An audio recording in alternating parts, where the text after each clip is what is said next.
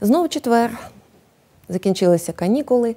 І з вами в прямому ефірі каналу BTV програма Читаємо Київ. Я її ведуча авторка Владислава Осьмак. Постійні глядачі цієї програми вже знають, що йдеться кожного четверга у нас про книжки, які розповідають про Київ. Ну а тим, хто до нас приєднався уперше, кажу: ми читаємо Київ. Тобто е, говоримо про краєзнавство про художню літературу, мемуаристику і таке інше. Тема сьогоднішньої нашої розмови це київські контракти. У багатьох джерелах ви можете прочитати про те, що контракти у певний час називали стрітинським ярмарком. Ну і запитати, а до чого ж тут е, розмова про контракти у другій половині січня? Але насправді перші в Києві контракти або ж контрактовий ярмарок відбулися саме 15 січня. Ну вчора можна було би відзначати дату 1798 року. Що ж воно таке контракти? Я одразу почну із читання, і в анонсі, до речі, попереджала, що читання сьогодні буде дуже багато. Книжка, з якої я беру перший фрагмент, е, ще буде звучати, і я докладніше про неї розповім, але спочатку таке контракти. Це слово для киянина ціла картина. Лютий місяць, не дивуйтеся, знову ж таки, час контрактового ярмарку мінявся. Лютий місяць Перші дні кріпкі, а далі мокрий, брудний сніг. Майдан на Подолі, позаставлений рундуками з дошок, снує густа юрба народу. До речі, ми з вами можемо е, побачити це і на фото, яке з'явиться на екранах за секунду. Риби завдовжки на цілий сажень повиставлювано перед крамницями. Тут таки на Майдані, тут димлять вафлі, тут продають чортиків та тещині язики. Тут цілі купи навалено нечаївських медяників, тобто пряників, крамнички з галантерією та усяким дріб'язгом, настирливі вигуки, вигуки крамарів, 25 канавертів, сьоп 25, Сірий від часу контрактовий будинок з своїми чотирма масивними колонами, обліпленими об'явами усередині восточні чоловіки, що продають шалі та пантофлі, татарин з казанським милом, білизна, уральське. Е, каміння, здоровенні купи ріжнобарвної мануфактури, галоші, в'яземські медяники, що ніколи у в'язьмі не бували, токарські вироби сліпців та листівки у запечатаних конвертах тільки для женатих. Не самісінький, но поділ, всенький Київ оживає. Готелі переповнені вщерть. На хрещатику сила селена люду, що ледві на тротуарах умістяться. То тут, то там мальовничі постаті контрактовичів у польських кунтушах та високих шапках, польський кермаш та балі, живий рух на біржі, в банках, в клубах, в цукрових сферах. Це контракти за останні роки перед світовою війною. Війна, а далі революція поклали їм край. Україна стала ареною світової боротьби, і не за ярмарки тут було думати. Та боротьба поволі затихає. Новий соціальний лад приходить на місце давнього. Проблеми мирного будівництва, економічного процвітання знову висуваються на перший план. І ось до старих міхів вливають нове вино.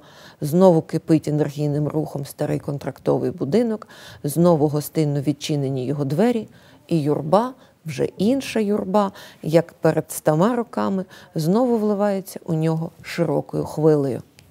Я навмисно не стала скорочувати цю цитату, тому що в цих півтора сторінках фактично вклалася вся історія контрактового ярмарку. Я маю перепросити, мала би на початку програми е, попередити про те, що деякі фрагменти, які сьогодні будуть цитувати, над серце краще не слухати і не дивитися. То якщо ви ще не повечеряли бігом на кухню, зробіть собі принаймні канапку. Ну а хто буде переглядати програму в записі, спочатку поїжте, а тоді вже дивіться і слухайте слухайте. Тому що контракти або ж контрактовий ярмарок. За визначенням, це, напевно, найсмачніший час протягом року, протягом цілого 19 століття. Ну, а як воно велося на початку 20-го, про те далі мова буде. Отже, контракти. Ні сіло, ні впало. Ну так, на перший погляд, з'явилися вони в Києві наприкінці XVIII століття. Тогочасний Київ, як ми вже неодноразово про це говорили у наших програмах, місто маленьке, не так густо заселене, як уже навіть в першій чверті XIX століття, місто, в якому майже немає ніякої економіки і не надто жваве торгівля. І от для того, щоб якимось чином пожвавити економічне життя. Києва і Київської губернії ухвалюється рішення перенести до Києва з міста Дубна, що на Рівненщині, контрактовий ярмарок. Хоча ярмарком, по суті, а не по назві, контракти стали значно пізніше. Починалося все із того, що Київ став центром дуже специфічного явища. Це була дворянська біржа. В Київ спочатку у другій половині січня, а потім уже під кінець зими, в лютому, навіть у перших числах березня, з'їжджалися тисячі поміщиків з цілого південно-західного краю. Чим вони займалися тут протягом двох тижнів, а саме стільки тривав контрактовий ярмарок. Насамперед підписували угоди, контракти про купівлю і продаж земельних ділянок, лісів, ланів і врожаю майбутнього року. Ну а оскільки товариство збиралося на київські контракти особливо вишукано, то і вся інфраструктура міста, користуючись мовою сучасною, на час контрактів мінялася. В книжці, з якої я починала, настав нарешті час вам її показати. Погляньте, будь ласка, обкладинка може і не надто показна, але під нею в тоненькій достатньо книжечці криється справжній скарб. Ця книжка написана відомим українським істориком, киянином Федором Ернстом і видана 1923 року. Власне, приводом для появи цієї книжки стало відродження контрактового ярмарку, про яке Федір Ернст згадує у вступі до своєї праці. Федір Ернст створив для нас із вами фактично підручник з історії київських контрактів. Це книжка Рекордсмен за кількістю джерел, які, на щастя, і сьогодні доступні е, в книгарнях або ж е, в бібліотеках чи архівах. Деякі з цих джерел я трошки згодом озвучу. Так от. Е, Федір Ернст, цитуючи учасників і глядачів, так би мовити, контрактового ярмарку, зокрема першої половини 19 століття, а це період розквіту київських контрактів, розповідає про те, що не лише крам був надзвичайно різноманітний на київських контрактах, адже йшлося не лише про гуртову торгівлю і ф'ючерс, ну знову ж таки, як би ми сказали сьогодні, тобто не лише врожаєм торгували, але й для того, щоб задовольнити потреби тих, хто приїздив на контракти, переїздили до Києва на час е, біржі ярмарку, ресторани із сусідніх міст і містечок, з Бердичева і Житомира, перебиралися на час контрактів до Києва книгарні. Ну і кияни жили у геть інший спосіб. Київ першої половини 19 століття місто, яке ще дозволяє собі розкіш жити в місті можна сказати, по-сільському. Так, просторо, неспішно. На час контрактів все міняється. По-перше, мешканці ущільнюються, звільняючи свої помешкання, будинки чи квартири для так званих контрактовичів, тобто учасників ярмарку. І дуже багато авторів тієї пори кажуть про такий феномен подорожчання нерухомості в Києві і згадують, що здавши помешкання на два тижні комусь із контрактовичів, потім цілий рік можна було не зле собі почуватися, навіть не працювати. Грошей вистачало до наступного контрактового ярмарку. До речі, невеличкий такий штрих до портрету Києва під час контрактів. Яким за мовною і етнічною ознакою був Київ, коли сюди переїхали контракти? Переважно українським, і е, поволі він стає російським, тому що Київ перетворюється на великий губернський центр, а відтак чиновний люд, а також офіцерство тут, як правило, імперське, російське. Але ті ж самі російські автори, які представляють великоросійську державницьку культуру, не без заздрості, ну і з певним інколи навіть роздратуванням кажуть про те, що на час контрактів Київ стає в суціль польським. І польські джерела, польські тексти, тексти до речі, деякі з них, на превеликий жаль, і до сьогодні не перекладені українською мовою, але я вам про них розповім. От Польські тексти, присвячені історії київських контрактів, є, напевно, найбільш важливою складовою, якщо говорити про фактичну історію. Ну а побут, повсякдення, традиції, смаколики різноманітні оце ми з вами знайдемо в авторів як тих, що писали українською мовою, так і в російській літературі.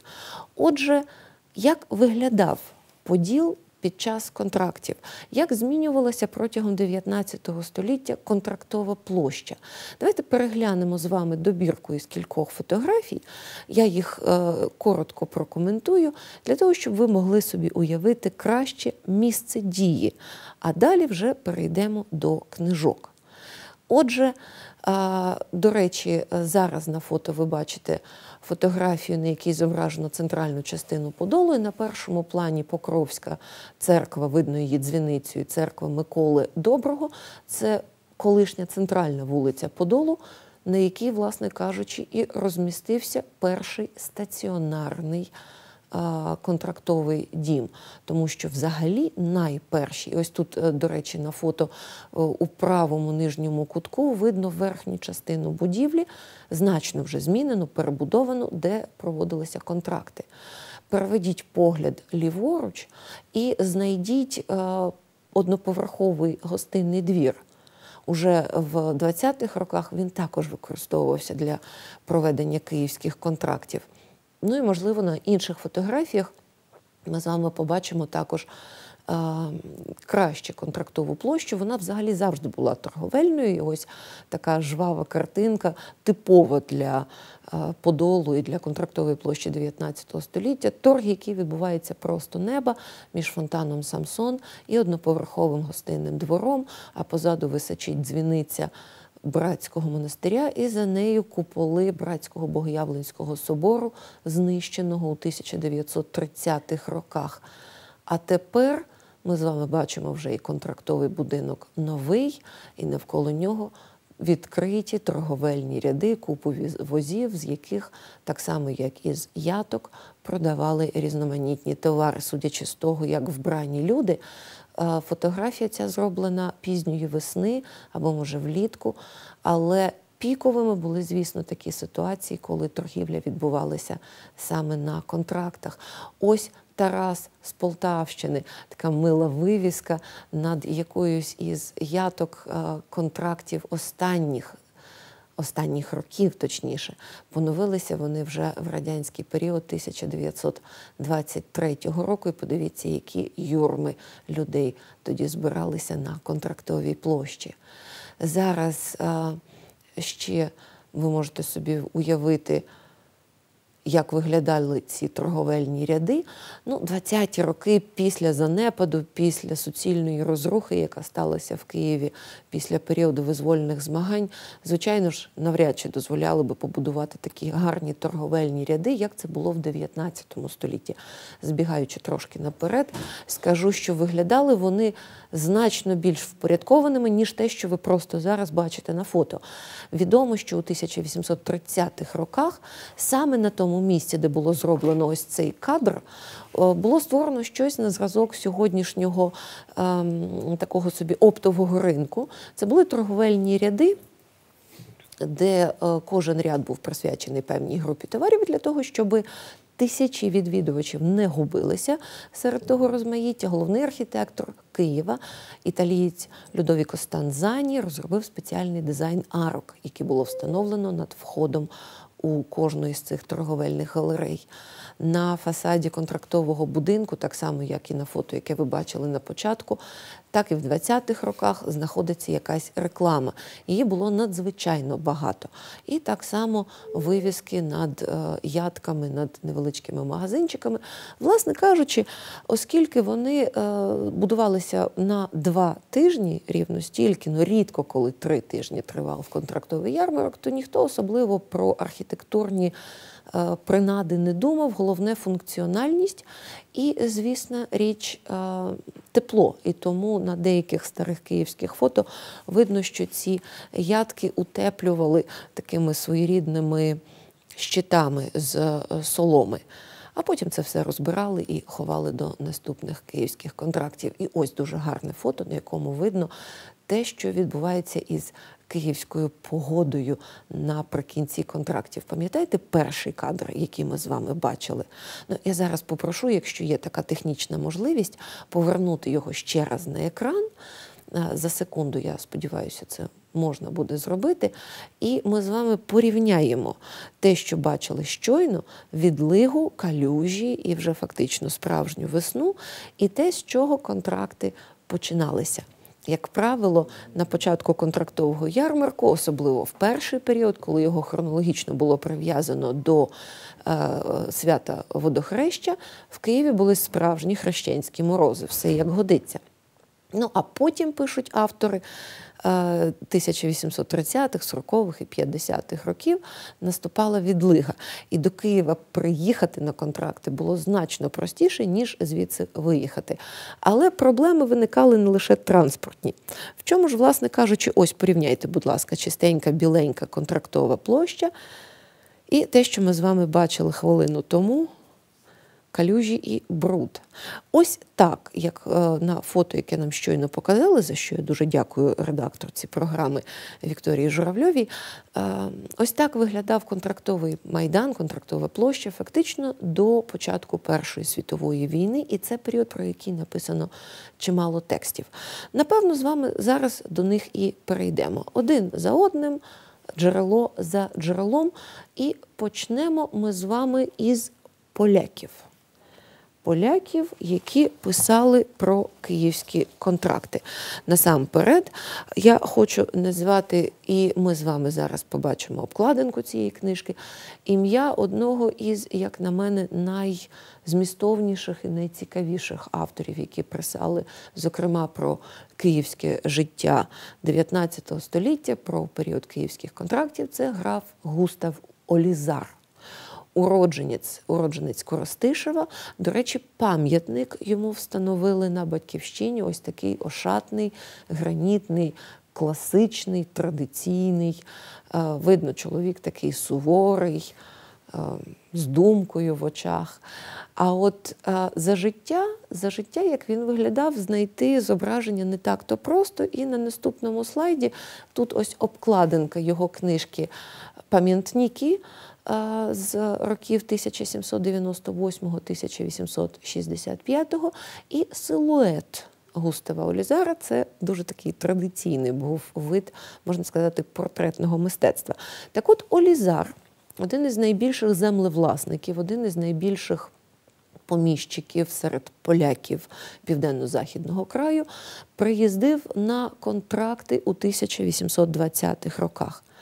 Товариство, на превеликий жаль, ну принаймні мені жодного разу ніде не траплялася інформація про те, що оці от записки Густава Алізара перекладалися українською. Книжку польською мовою знайти можна і у бібліотеці Вернацького, і, очевидно, якщо пошукати в інших великих бібліотеках, боятися польської не варто. Треба тільки звикнути до того, що 3-4 літери означають один і той самий звук, а далі піде як по маслу, тому що між українською і польською дуже багато спільного. Раджу вам цю книжку прочитати, тому що з неї. Це не єдине джерело, але дуже цікаве і безпосередньо. Ви можете дізнатися, скажімо, про контакти між польськими революціонерами і представниками е, тієї частини декабристів, які згруповувалися, які гуртувалися в Києві. До речі, повертаючись до е, Федора Ернста і до його книжки Контракти та контрактовий будинок у Києві, е, в коментарі, яким він оснащує е, виклад з Густава Олізара, Федір Ернст пише, що зустрічатися саме на контрактах було надзвичайно зручно, тому що про політику тут можна було говорити фактично безпечно. Кілька тисяч людей, які юрмляться, які одночасно займаються найрізноманітнішими справами. І навіть найпрофесійніші шпигуни не встигали за всіма представниками південного товариства декабристського, і тому політику тут можна було дійсно обговорювати. Князі Раєвський, Волконський, Денис Давидов бували в той час на київських контрактах. А е, Густав Олізар, крім того, подає ще й декілька таких цікавих побутових подробиць, розповідаючи про те, як розселялися на київських квартирах. Я не буду вас засмучувати читанням польської мови та потім витрачати час на переклад. Я стисло переповім. А, от така цікава деталь. В Київ на контракти протягом багатьох років переїздила одна книгарня, яка стала фактично клубом для учасників ярмарку. В книгарні на прилавку стояв такий собі акваріум, якась скляна посудина, в яку можна було цілком безпечно вкидати записку. «Е, я такий-то і такий-то е, винайняв собі помешкання за такою-то адресою, така собі пошта. І в такий от спосіб, знаючи, що записочку не потрібно йому з того акваріуму ніхто не забере. Поляки знаходили один одного в Києві і збиралися на квартирах, обговорюючи і політику, і свої ділові справи. Коли контракти тільки не розпочиналися, перші буквально 2-3 роки вони відбувалися в будівлі, якої вже давно-давно нема. 200 років тому, а вже навіть 202, під час великої пожежі, яка сталася влітку 1811 року на контрактовій площі, згоріла ратуша, яка стояла на півшляху від фонтану Самсон до пам'ятника Григорію Сковороді. Звісно, пам'ятника тоді не було, а фонтан вже був. І от у ратуші е, були перші збори контрактовичів. Було дуже незручно, оскільки домовлятися про щось треба було на Подолі, а підписувати угоди на Печерську, де знаходилися тоді всі е, заклади в структурі Київського губернського відомства. І тому вже тисяч 1799-1800 року міська адміністрація виходить за ініціативою все об'єднати і все е, розташувати на Подолі. І на вулиці Покровській, яку ми з вами бачили на фото, починається будівництво великого видовженого такого з гарним розтованим фасадом одноповерхового контрактового дому. Різні джерела подають різні відомості стосовно того, коли було завершено будівництво і коли саме там відбулися контракти. Хтось каже 800-го, хтось каже 801-го або 802-го, але точно відомо, що все це припинилося 811 року і поновилося звичайне контрактове життя у Києві лише після того, як на контрактовій площі за проєктом шотландця за уроджен... за народженням архітектора Вільяма Гесте було збудовано контрактовий будинок, який дійшов і до наших з вами часів.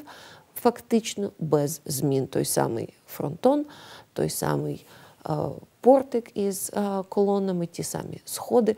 І е, збереглося чимало докладних описів того, як воно виглядало всередині. Однією із архітектурних принад контрактового дому були широкі сходи. У день вони слугували за додаткові торговельні площі. І взагалі не варто думати, що контрактовий ярмарок існував окремо як базар на контрактовій площі і окремо як якесь місце для еліти всередині контрактового дому. Ні. Якщо придивитися уважно до фотографії кінця 19-го, початку 20-го століття, то можна звернути увагу на те, що на фасаді контрактового дому, на самих його ошатних білих колонах, якісь такі маленькі чорні цяточки. Це рекламні оголошення, писані від руки. Не було жодних заборон так само обклеювалися оголошеннями про будь-що. Е, партію е, французького вина, шампанські вина, сардельки, сосиски, папугу, який вміє розмовляти, чи там особливо голосистого кеннера, а поряд оголошення про продаж великої земельної ділянки, все це було на стінах і на сходах контрактового дому, а під колонами центральної зали. Розкладалися товари, але все це зникало увечері коли розпочиналася культурна програма, тому що контракти ніколи не жили самим лише бізнесом, самими лише грошима. До речі, про гроші лише на час контракту точніше контрактового ярмарку, у певні періоди 19 століття дозволялося приїжджати до Києва, тут мешкати і займатися якимись своїми справами євреям. Адже відомо, що впродовж 19 століття Київ то включали, то виключали до так званої черти осідлості, яка забороняла проживання євреям у великих містах. На час контрактів відбувалося послаблення цього е, закону.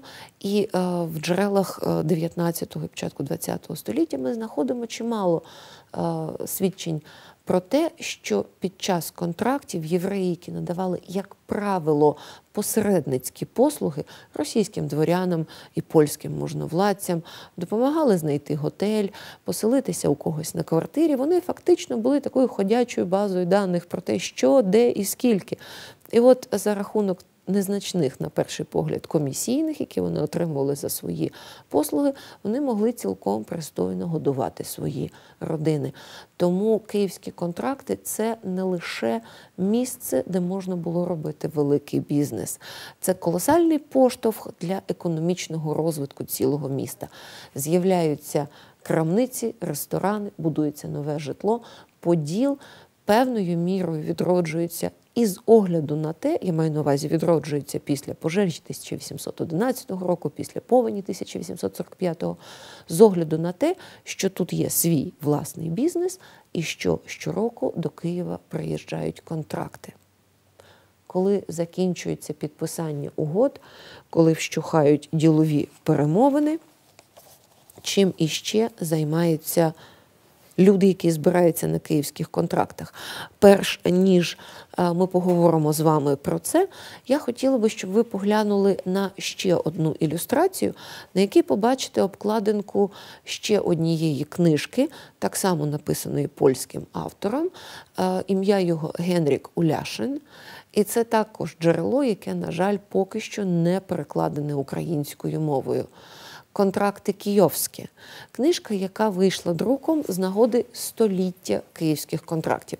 Мені вдалося її розшукати у бібліотеці Державного історичного архіву, який знаходиться на Солом'янці. Оформіть собі е, допуск до архіву, і тоді зможете попрацювати із цією книжкою. Вона особливо цікава тим, що в ній наводиться дуже багато економічних показників, скільки і на яку суму привезено товарів, і яких саме скільки скільки продано, скільки куплено, з яких країв прибували купці і так далі. і так далі. Ну, а якщо не зможете дістати Генріка Уляшина, то знову візьміть до рук Федора Ернста. У нього є цитати з цієї книжки, він наводить деякі також цифри, які дуже ретельно з архівів, з листувань, із різних книжок збирав Генрік Уляшин. Отже, чим займаються люди на контрактах вечорами? Танці, танці і ще раз танці. І отут дуже цікаво порівняти авторів польських і авторів російських. До переліку імен поляків, яких варто почитати про київські контракти, додам ще Олександра Грозу. Це книжка Мозаїка контрактова, яка розповідає про контракти 1850-х років. І там взагалі є дуже багато цікавих деталей.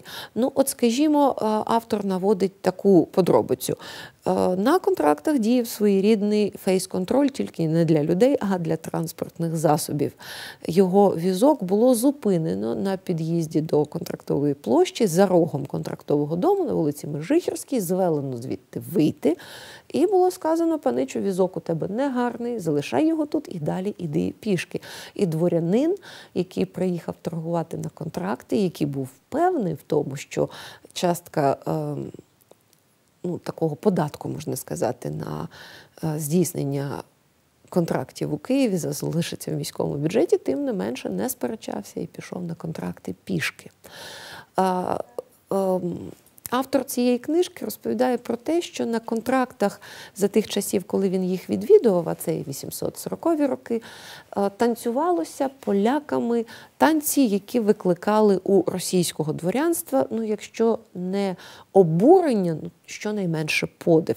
Не лише е, Мазурка, але й краков'як, скажімо, е, і взагалі е, російські відвідувачі контрактового ярмарку почувалися доволі таки незатишно, оскільки поляки грали першу скрипку. Їм однозначно, принаймні у першій половині 19 століття, належала провідна роль на київських контрактах. На вулицях було частіше чути польську мову, аніж українську чи то російську. І от і от а, про всі ці речі ви можете прочитати у Олександра Грози в мозаїці контрактовій. Цікава згадка, е, перейдемо до російської літератури. У е, відомого автора 19 століття, який неодноразово приїздив до Києва. Я тримаю в руках, звісно, річ перевидання, тому що прижиттєве видання 1810 року це бібліографічна е, така рідкість, і е, хіба в бібліотеці чи в архіві ви знайдете книжку. Але оце перевидання здійснене київським видавництвом Академкнига, де е, в деяких крамницях книжкових ще можна купити. Така гарна назва Славне буб не за горами, і путешествие моє кое куда 1810 року. І куди ж це князь Іван Долгорукий подорожував 1810-го? Засидівся каже, вдома. Хотів був поїхати за кордон, так грошей бракувало, то відправився мандрувати батьківщиною до Одеси з Москви і назад у Москву через Київ. І от у Києві 1810 року він потрапляє якраз під час контрактів на Поділ. На Подоле выгорели ряды и строятся новые. Между тем купцы торгуют по домам. Ни, ни, ничто так не удивляет, как э, магазин Губарева, у которого вы найдете все, что можете э, что может обворожить самого равнодушного к прелестям роскоши скупца. Все выписное, стекло, фарфор, золотые вещи, бронзы. О мелочах уже и говорить нечего, сюрпризы, каких лучше нет и в Москве. Все это завелось здесь с тех пор, как сюда перенесены контракты. Это очень возвысило красоту города и воспособило его отстройки. Те, про що я вам щойно казала. Місто відбудовувалося, нижнє місто Киево-Подил, з огляду на контракты. Дом для контрактов выстроен превеликий на Подоле, на самом том месте, где некогда жевали мои родители, когда они со мною, сущим младенцем, приезжали видеться з княгинею Наталією Борисовною. Зроблю невеличку ремарку. Княгиня Наталя Борисівна це та сама Наталя Борисівна Довгорука чи Довгорукова, яка була ігуменою Фролівського Вознесенського жіночого монастиря на Подолі. Тобто Тобто, певною мірою Іван Долгорукий приїздив до Києва, з яким пов'язане було пам'ять його родини. Ныне этого места и тот бы не узнал, кто здесь бывал после ребячества. Все знают, что такое контракты. Они начинаются в январе и продолжаются недели три. В эту бешеную пору все магазины и лавки опустошаются, все раскупают. Поляки наезжают кучами – отовсюду для своих продаж, разменов, аренд и откупов. Из карманов их сыплются кучи золота. И я видел такие домы, которые невероятно дают хозяину доход. Например, дом господина Спиранского, в котором жил тамошний прокурор. Занимается он несколько лет сряду во время контракта в какой-то графинию Потоцкой, которая за две недели найма платит до 4 тысяч рублей. А дом деревянный и далек от того, чтобы быть очень обширным. Мне сам постоялец это сказывал на вопрос мой и с некоторым удивлением, для кого так много вещей, прямо драгоценных и ломких, выписывают в свою лавку Губарев, сиделец, продавец, отвечал, ничего не остается, в контракты все раскупят поляки А, конечно, по продажной цене судя, которая и в Киеве ныне, благодаря общему стеснению торговли на все поднялась страшным образом, конечно, Губарев имел тогда в своем магазине на несколько сот тисяч товару. Крім торгівлі і танців. Ну, Це тема, про яку можна говорити нескінченно. Чим іще займаються на контрактах у той польський період насамперед, але і наприкінці 19 століття так само. Друзі, ось цю книгу я вам наполегливо рекомендую. Маю велику надію, що її упорядниця і е, людина, яка, е, ну, власне кажучи, дала цій книзі життя співробітниця музею історії Києва Ольга Друг колись з'явиться в цій студії. А поки дозвольте вам сказати, що спогади старого грішника, такий підзаголовок має ця книжка Олександра Паталєєва, містять цілий розділ про київські контракти. Але якщо ви сподіваєтеся знайти там як у е, Івана Долгорукого чи у Федора Ернста докладну розповідь про крам, яким там торгували, не сподівайтеся, цілий розділ про картярство. Але оскільки я в карти не граю і навіть нічого про це не знаю, то і цитувати не буду. Книжку можна придбати, будь-де, вона ще є. Почитайте, будь ласка, яке жваве картярське життя відбувалося на київських контрактах, а принагідно потім ще пригадайте одну із найпопулярніших київських історій про те, як саме завдяки картам, ну так принаймні каже одна міська київська легенда, втратив свій шалений заробіток, свій гонорар після концертів, які віддавав у Києві під час контрактів 1847 року, всесвітньо відомий піаніст, віртуоз і композитор Ференс Ліст. Але це, напевно, окрема історія. А зараз давайте ну, ми з вами перейдемо до ще кількох авторів, які писали про контракти. Я обіцяла, що буде багато читання. Ну, е, ще така тема. У нас із вами дуже е, доросла така виходить сьогодні розмова. Карти, а ще й пиятика товариство. На контрактах випивалося неймовірна кількість алкогольних напоїв. Пам'яттю про це слугує, скажімо, такий анекдот який наводить у своїй повісті близнюки, хоч написана вона російською мовою, я подам це зараз у перекладі українською. Отже, Тарас Шевченко близнюки. А, а Нечипор Федорович, подорожуючи, як то кажуть, по хазяйському, не виснажуючи ні себе, ні коней, другого дня виїхав із Яготина. Отак виїжджали на контракти. По хазяйському означає, взявши з собою їжу для себе, їжу для коней, гроші, інколи навіть постільну білизну. Коротше, на контракти везли все.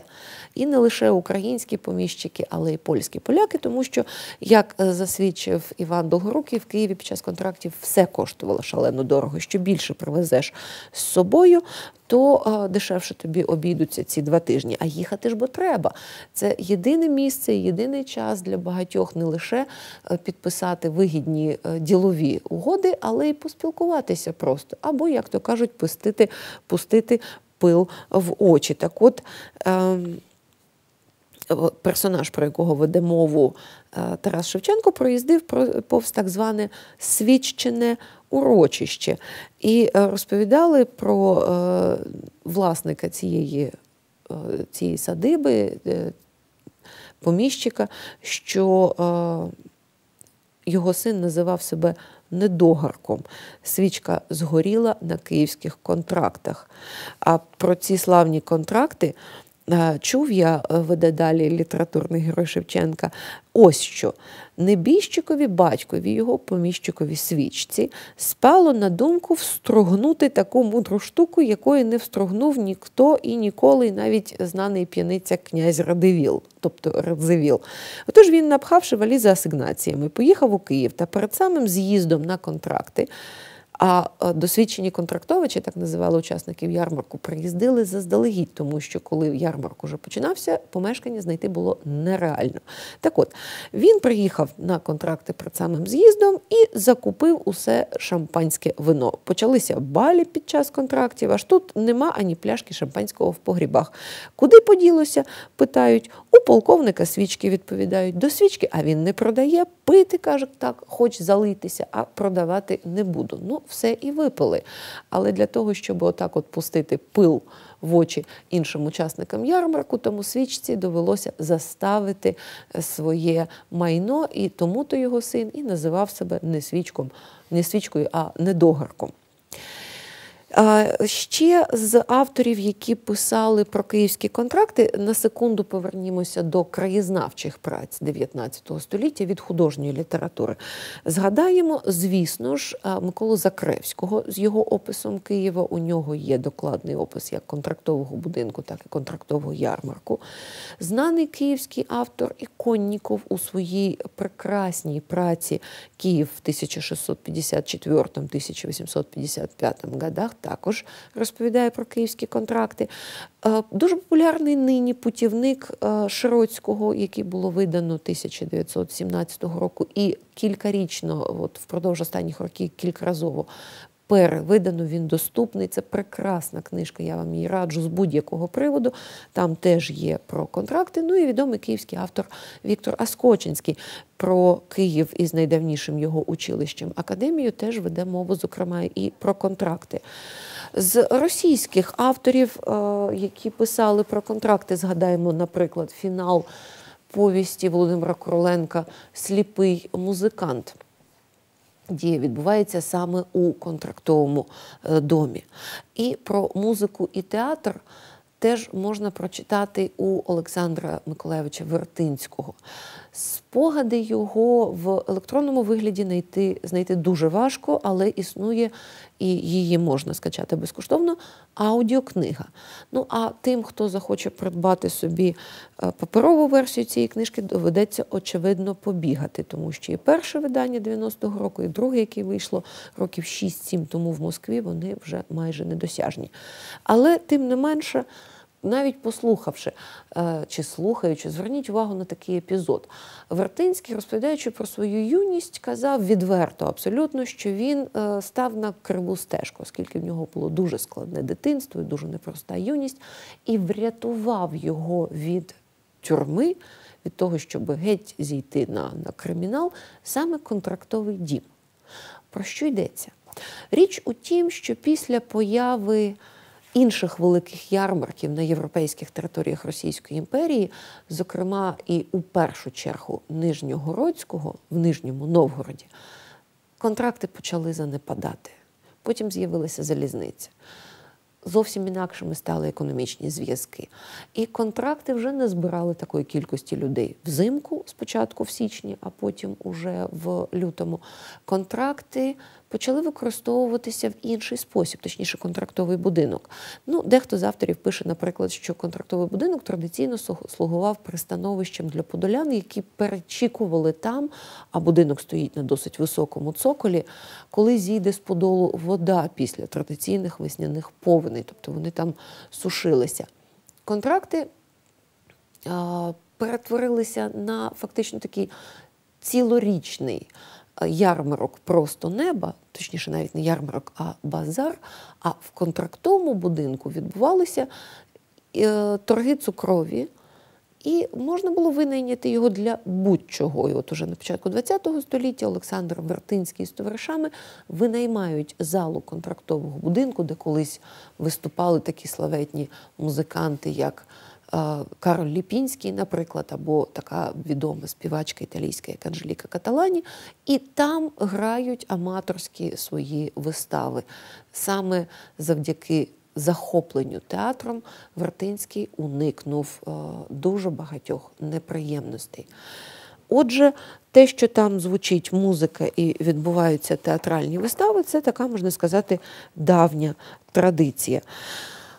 Про хрещенські зимові розваги у Києві, зокрема про контрактовий ярмарок, у своїй книжці, яку я теж вам раджу і кажу, що вона досить доступна в книгарнях, є репринтне її перевидання, пише Олімпіада Шишкіна 1845 року. Вона е, вийшла ця книжка в Москві.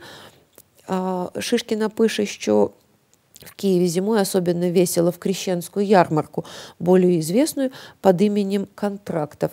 Тогда привозят из внутренних губерний и из-за границы много товаров, и съезжающиеся помещики сбывают оптом сельские свои произведения, продают или покупают имения и отдают их в аренды. Такие обороты и сделки простираются иногда гораздо выше миллиона рублей серебром – побіжно, буквально одним рядком згадує про контракти у своїй повісті Хмари і Іван Нечуй Левицький, кажучи, що в контрактовий ярмарок був за квартири заробіток добрий.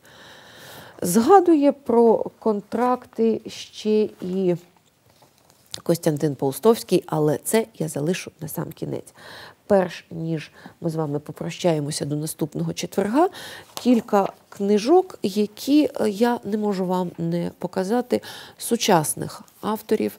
Ось я тримаю в руках книжку, яка присвячена і історії, і е, останнім рокам життя буття контрактового будинку і Київської біржі. генетично пов'язаної із тією дворянською біржею початку 19 століття. Авторами цієї книжки я зараз розгорну е, першу сторінку для того, щоб було краще видно, як вона називається. Е, є, точніше, були Олег. Видно? Не видно. Олег Андронов і покійний, відомий києвознавець і автор улюблених багатьма книжок про Київ Олександр Анісімов. Книжка прекрасно ілюстрована. Тут є дуже цікаві архівні фотоматеріали. Так само в другому томі свого двотомника Києви київляні цілий розділ Олександр Анісімов присвячує київським контрактам. Тут історія, тут побут, тут звичаї і різноманітні цікавинки з тих часів. Ця книжка видавалася, на превеликий жаль, не такими великими накладами, як хотілося б. І коштує вона сьогодні чимало, але повірте, вона варта кожної копійки, яку ви вирішите на неї витратити. Ще декілька книжок зараз покажемо вам на екран. Ну, принаймні, дві праці. Києвознавця номер один на сьогодні, я вважаю, Михайла Кальницького. Це книжка Єврейські адреса Києва, де Михайло Кальницький київські контракти називає таким зародком київської біржі, і йдеться про київські контракти у розділі про поділ, про ремесла і торгівлю, і його ж книжка Бізнес і бізнесмени, де про контракти також є. Ясна річ, я не називаю вам абсолютно всі джерела. Це просто нереально перелічити всіх, хто писав про київські контракти. Можна визбирувати з великої кількості джерел, в того ж Нечуя Левицького, я переконана, знайдеться ще, окрім того, що я цитувала. А на сам кінець вам таке домашнє завдання. Це не буде е, ніякою е, вікториною, це не буде, перепрошую, якимось випробуванням, це просто невеличкий подаруночок текстовий. Коли ви знайдете Олександра Вертинського, якщо в когось його спогадів дороги длінної ще немає, покладіть отак от Вертинського, а поряд покладіть текст, який я вам зараз прочитаю. І порівняйте, яка в обох прекрасна пам'ять і наскільки близько сходяться їхні описи Вертинський і Костянтин Паустовський. Повість о жизни, розділ «Зимнее зрелище». На контрактовой ярмарке балаганы действительно были интересные. Мы любили эту ярмарку и с нетерпением ждали всю зиму, когда она откроется. Открывалась она в конце зимы в старинном контрактовом доме на Подоле и в дощатых палатках вокруг этого дома. Обычно ко дню ее открытия наступала распутица. Острые запахи ярмарочных товаров были слышны издалека. Пахло новыми бочками, кожей, пряниками и калинкором – мне нравились на ярмарке карусели, игрушки и паноптикум. Маслянистые глыбы белой и шоколадной халвы хрустели под ножами продавцов. Прозрачный розовый и лимонный рахат лукум заклеивал рот. На огромных глиняных блюдах были навалены пирамиды засахаренных груш, слив и вишен, изделия знаменитого киевского кондитера Балабухи. На разосланных в грязи рогожах грубо вырезанные из дерева и раскрашенные липкой краской солдатики, казаки в попахах и шароварах с малиновыми лампасами, барабанщики со зверски выпученными глазами и трубачи с пышными кистями на трубах. Кучами были свалены глиняные свистульки. Веселые старики толкались в толпе, выхваляя тещины языки и морского жителя. Это была заманчивая игрушка. В стеклянной узкой банке нырял и переворачивался в воде черный мохнатый чертик. Множество звуков оглушало вас выкрики продавцов, лязг кованых дрог, великопостные звоны из братского монастыря, писк резиновых чертиков, свист свистулек и вопли мальчишек на карусели. За приплату карусель вертели так быстро, что все превращалось в пеструю смесь оскаленных лошадиных морд из папье-маше, галстуков, сапог, вздувшихся юбок, разноцветных подвязок, кружев, платков. Иногда в лицо зрителям летели, как пули, стеклянные бусы от разорванного стремительным вращением маниста. Паноптикума я побаивался, особенно восковых фигур.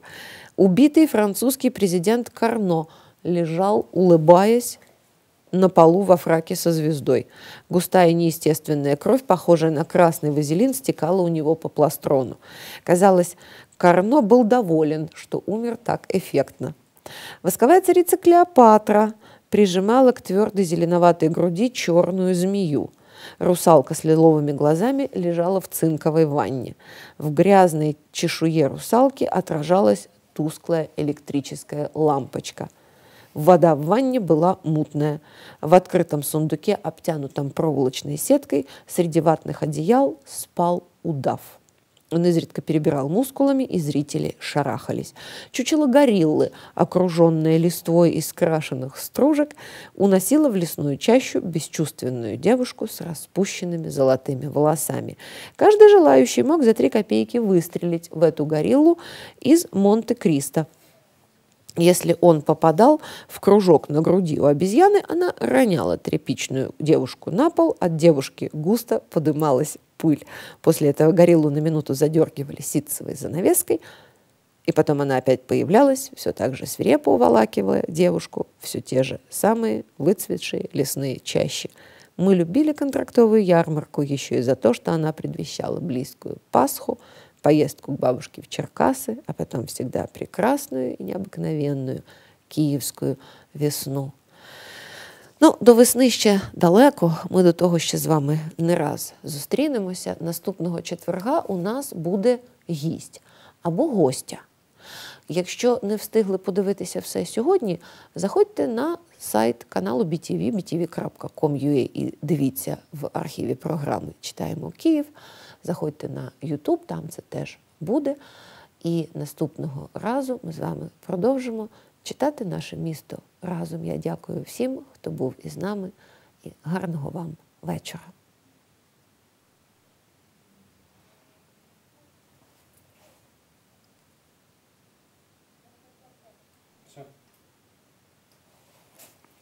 Спасибо, Петечка.